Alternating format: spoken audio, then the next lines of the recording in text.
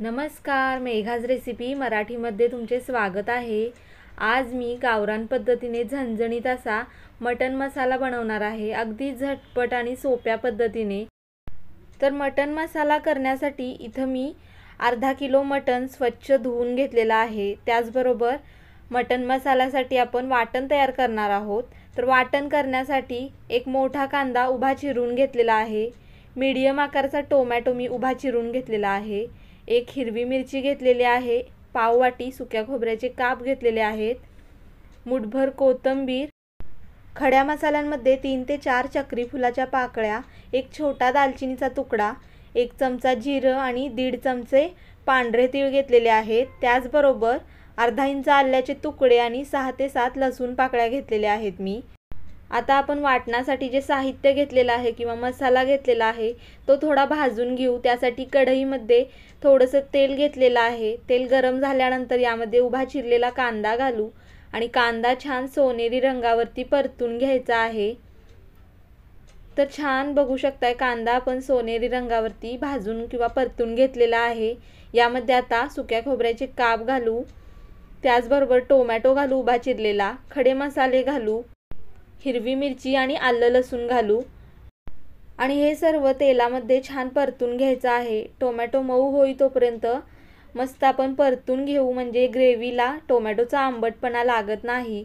तर छान टोमॅटो बघू शकताय. मऊ होई तोपर्यंत मी परतून घेतलेला आहे हा मसाला.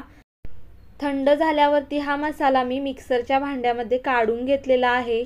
यामध्ये आता कोथिंबीर घालू आणि थोडंसं पाणी घालून छान बारीक असं वाटण तयार करून घ्यायचं आहे. वाटण आपलं तयार झालेलं आहे. हा मटन मसाला मी कुकरमध्ये बनवणार आहे. कुकरमध्ये अगदी झटपट असा तयार होतो.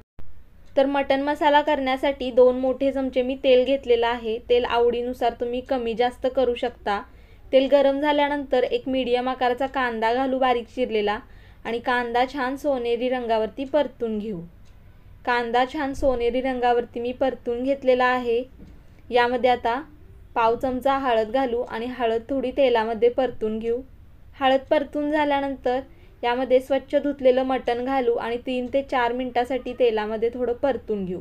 मटणाला जोपर्यंत पाणी सुटत नाही तोपर्यंत थोडं तेलामध्ये परतून घ्यायचं म्हणजे मस्त चव येते. तर तुम्ही बघू शकताय मटण परतून घेतल्यानंतर मटणाला आता पाणी सुटायला लागलेलं आहे.